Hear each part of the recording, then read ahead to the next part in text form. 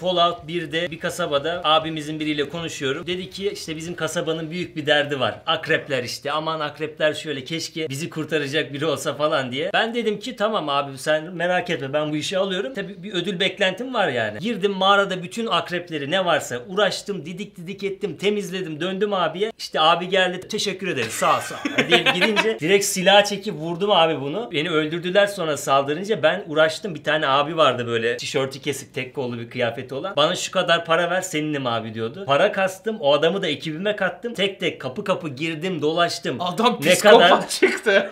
ne kadar canlı varsa hepsini öldürdüm.